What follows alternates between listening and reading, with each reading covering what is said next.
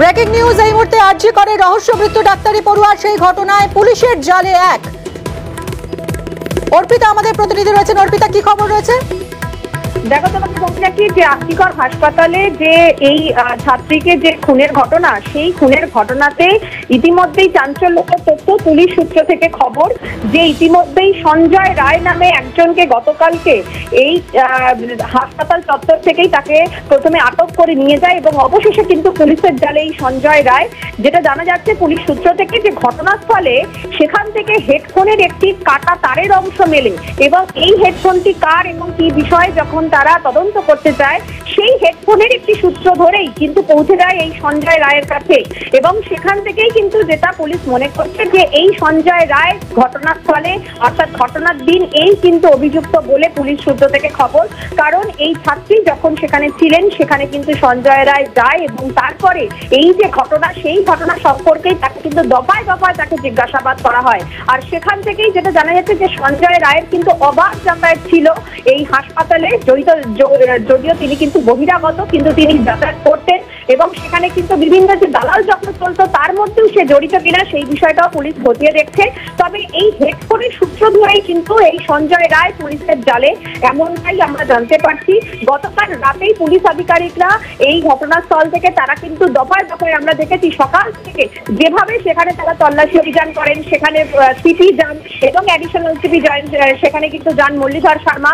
তারা যাওয়ার পরে সেখান থেকে বেশ কিছু জিনিস সেখান থেকে বাজেয়াপ্ত করে।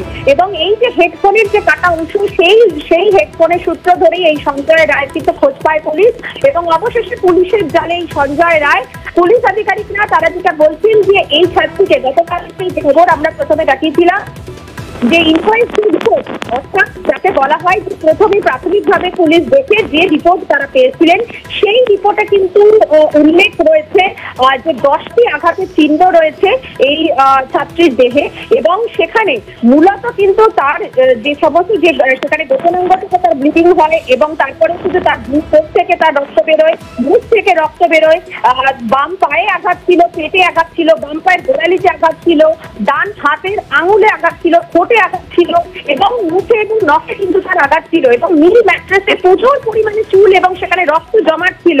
আর এখান থেকেই পুলিশ আধিকারিকরা কিন্তু বিভিন্ন যে জিনিস, সেখান থেকে মোবাইল বাজেয়াপ্ত করে, ব্যাগ বাজেয়াপ্ত করে এবং এই সমস্ত মোবাইল, ল্যাপটপ এবং ব্যাগ বাজেয়াপ্ত করার পরে তার একটি হেডফোনের একটি অংশ পায় এবং সেখান থেকেই পুলিশ আধিকারিকরা সেই হেডফোনের সূত্র ধরে তার পৌঁছে যায়। একেবারে সঞ্জয় রায়কে রাত্রেবেলাতেই সেখান থেকে নিয়ে আসা হয়। দফায় দফায় তাকে জিজ্ঞাসাবাদ করে পুলিশের জালে কিন্তু অবশেষে সঞ্জয় রায়। এই ঘটনার সঙ্গে আর কেউ জড়িত রয়েছে কিনা? কারণ সঞ্জয় ছাড়া আর কেউ ছিল কিনা? সেটাও কিন্তু তারা খতিয়ে তারা দেখছে। এবং এই যে ছাত্রী, সেই ছাত্রীর দেহের পাশে সেখানে একটি ক্লিপ পড়েছিল, ভাঙা চশমার অংশ পড়েছিল, এমনকি তার পরনের যে জিন্স সেই জিন্স কিন্তু খোলা অবস্থায় রাখা ছিল। আর এখান থেকে পুলিশ আধিকারিকরা তারা যেটা মনে করছিলেন যে রাগ বা প্রতিহিংসা থেকেই হয়তো এই খুন, এবং সেক্ষেত্রে যে কোনো সম্পর্ক নাকি অন্য কোনো কারণ, সেই বিষয়টা তারা খতিয়ে দেখতে চায়। এবং এখানেই তারা দেখে যে একটি হেডফোনের একটি অংশ পড়ে রয়েছে, এবং সেই হেডফোনের সূত্র কিন্তু সরাসরি পৌঁছে যায় এই সঞ্জয় রায়ের কাছে এবং সঞ্জয় রায় কিন্তু অবশেষে পুলিশের জলে। তবে যেটা জানা যাচ্ছে, এই সঞ্জয় রায়, সে কিন্তু বহিরাগত, কিন্তু অবাধে যাতায়াত ছিল তার এই হাসপাতালে এবং সেখানে কোনো এই দালাল চক্রের সঙ্গে সে জড়িত ছিল কিনা, সেই বিষয়গুলি কিন্তু পুলিশ আধিকারিকরা খতিয়ে দেখছে। অবশেষে কিন্তু সঞ্জয় রায় পুলিশের জালে। ফলে এই সঞ্জয় রায় কেন সেখানে গিয়েছিল? কি কারণে বা কি বলে তাকে নিয়ে যাওয়া হয়েছিল ওই ছাত্রীকে সেই বিষয়গুলোকে কিন্তু তদন্ত করে খতিয়ে দেখতে হবে। পুলিশ আধিকারিকরা এমনটাই জানাচ্ছে। গতকাল রাত পর্যন্ত সেখানে অ্যাডিশনাল সিপি অর্থাৎ মুরলীধর শর্মা তিনি সেখানে গেছিলেন এবং অ্যাডমিনিস্ট্রেটিভ বিল্ডিং এ বহুক্ষণ তিনি ছিলেন রাত্রেবেলায়, প্রায় বারোটা সাড়ে বারোটা। এবং তারপরে কিন্তু আমরা যেটা দেখি যে সেখান থেকে কিন্তু সঞ্জয় রায়কে নিয়ে আসা হয়। লালবাজারে এবং তাকে কিন্তু দফায় দফায় কিন্তু জিজ্ঞাসাবাদ করা হয়।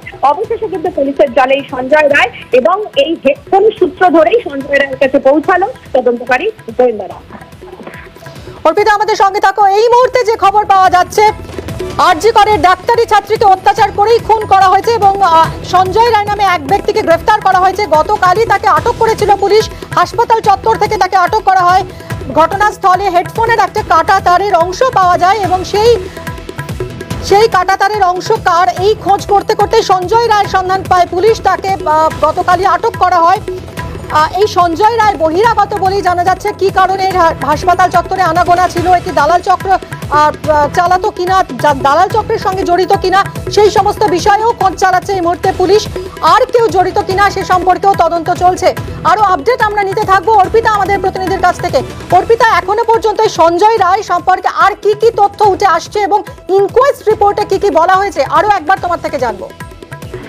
দেখো, আমরা দেখেছি যে গতকালকে এই যে সেমিনার হল সেই সেমিনার হল থেকে এই ছাত্রীর দেহ অর্থাৎ সেকেন্ড ইয়ারের যে ছাত্রীর দেহ, সেই ছাত্রীর দেহ সেখান থেকে মেলে এবং সেখানে অবিন্যস্ত যে তার কাপড় কাপড় ছিল এবং সেখান থেকে কিন্তু তার দেহ মেলে এবং তারপরেই যে ইনকোয়েস্ট রিপোর্ট বা প্রাথমিকভাবে পুলিশের যে অবজারভেশন সেই অবজারভেশনে কিন্তু উল্লেখ হয় যে এই চিকিৎসকের রহস্য মৃত্যুর ঘটনাতে প্রায় চিকিৎসকের দেহে এই ছাত্রীর দেহে দশটি আঘাতের চিহ্ন রয়েছে এবং সেগুলো কিন্তু খুবই মারাত্মক। অর্থাৎ তার দুই চোখ থেকে রক্ত বেরিয়েছে, মুখ থেকে রক্ত বেরোয়।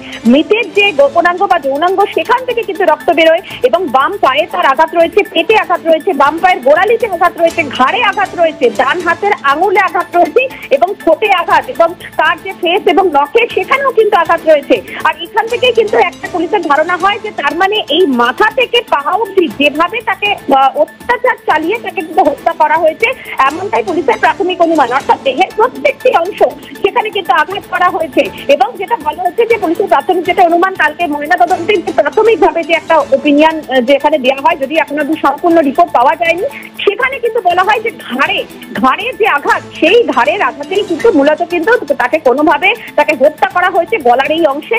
এবং সেখানেই পুলিশের কিন্তু সন্দেহ হয় যে মাথা থেকে একেবারে পা পর্যন্ত যেভাবে ইনকোয়েস্ট রিপোর্টে এতগুলো ইঞ্জুরি মার্ক সেটা দেখে পুলিশের মনে হয় যে এটা কোনো এমন কারও কাজ যে কিনা পূর্ব পরিচিত যে এখানে অবাধে আসে, সেই কারণে এই রুমটি সে চেনে এবং এক্ষেত্রে দশ, দশটি আঘাত এবং নৃশংসভাবে তাকে হত্যা করা হয়েছে, এমনকি নীল ম্যাট্রেসে যেখানে তার দেহ ছিল, সেখানে প্রচুর পরিমাণে ছড়িয়ে ছিটিয়ে রয়েছে, তার চুলের অংশ এবং বেশ কিছু জায়গায় রক্ত জমাট বেঁধে গিয়েছে এবং দেহটি ছিল মূলত মাথা ছিল পশ্চিম দিকে, পূর্ব দিকে তার পা ছিল এবং অর্ধনগ্ন অবস্থায় তার কিন্তু দেহ মেলে।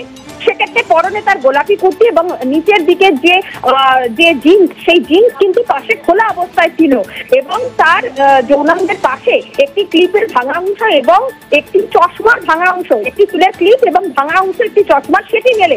পুলিশের প্রাথমিক অনুমান হয় যে আততায়ী কিন্তু রাগ এবং প্রতিহিংসা থেকেই তার মানে খুন করেছে এবং পুলিশ এটা প্রাথমিকভাবে যেটা জানতে পারছে যে এক্ষেত্রে কিন্তু প্রমাণ লোপাট করার জন্য কি তাহলে খুন? সেই বিষয়গুলোকে কিন্তু দফায় দফায় জিজ্ঞাসাবাদ করে জানার চেষ্টা করছে পুলিশ আধিকারিকরা। গতকাল যখন আহ, রাত্রে বেলায় পুলিশ আধিকারিকরা টিম নিয়ে সেখানে যায় এবং সঞ্জয় রায় নামে একজনকে সেখান থেকে কিন্তু পুলিশের জালে আটক করে এবং এই সঞ্জয় রায়কে কি গ্রেফতার করা হয়েছে? দেখো সঞ্জয় রায়কে কিন্তু ইতিমধ্যেই কিন্তু জিজ্ঞাসাবাদ করার পরে তারা কিন্তু পুলিশের জালে অর্থাৎ পুলিশ কিন্তু এক প্রকারের কিন্তু বলা যায় যে তাকে দফায় দফায় জিজ্ঞাসাবাদ করে এই ঘটনার সাথে তার যে লিঙ্ক আপ বেশ কিছু অংশ পাওয়া যায় পুলিশের জালে এই সঞ্জয় রায় বাইরে থেকে তার অবস্থার যাতায়াত ছিল এবং এই যে দালাল চক্র চলতো আর কি পরে বিভিন্ন সময় দালাল চক্র চলতো এ কিন্তু বহিরাগত সঞ্জয় রায়। মানে সেখানে এই দালাল চক্রের সঙ্গে যে সে জড়িত কিনা সেই বিষয়গুলি পুলিশ আধিকারিকরা খতিয়ে দেখছে যে এই বিল্ডিং এ তার অভাব তার যে যাতায়াত ছিল এবং কি করে ওই চিকিৎসা একদমই সঞ্জয় রায়কে জিজ্ঞাসাবাদ করে আর কি কি তথ্য উঠে আসে আমাদের অবশ্যই তদন্তের গতির গতি প্রকৃতির দিকে নজর থাকবে। অনেক ধন্যবাদ তোমার